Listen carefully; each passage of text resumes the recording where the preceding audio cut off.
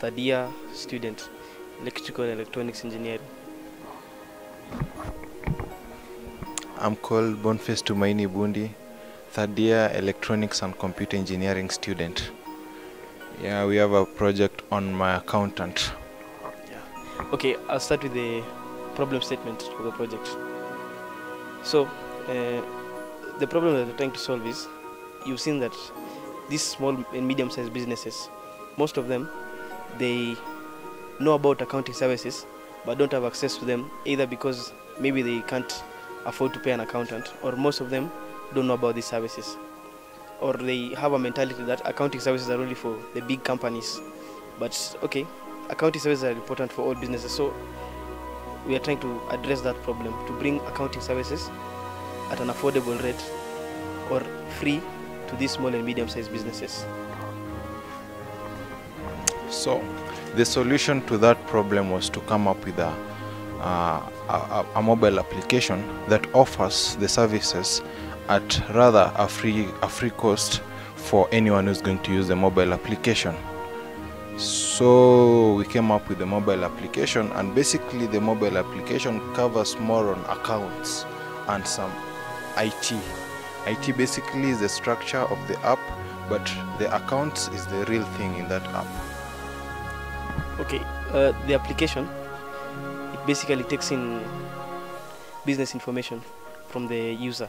Like for example, uh, from the user interface, it takes in sales information, purchases information, expenses that are incurred by the business, other incomes that the business earns apart from its main business, and basic asset and liability information. So the current liabilities are taken in, the non-current, and also the non-current and current assets. So what the app does, it compiles all this information and then uses this information to produce the three essential financial statements, which actually is the objective of, accounting.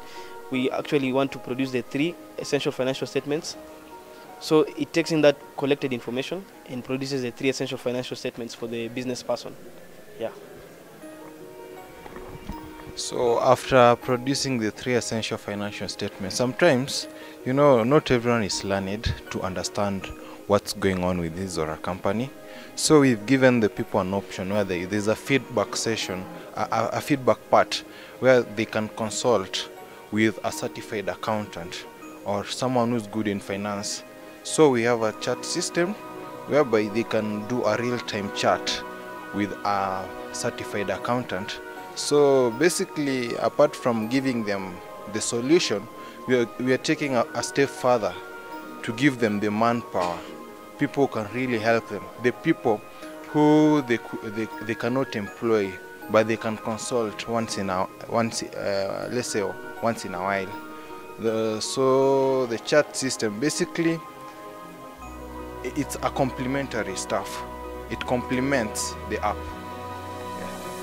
Okay, you may ask me, why are these financial statements important? Okay, these financial statements are important because uh, basically they give you the state of your business. You find that most of these guys, you just run a business. So long as your business is paying bills, you don't care whether you're making profit or, or loss. So these financial statements they give you, they show you whether you're making a profit or a loss. And sometimes you may be making a profit, but your business is not doing all that well. So these financial statements basically show the business health and there is also a section called analytics whereby it gives you advice on what you can do to make your business better yeah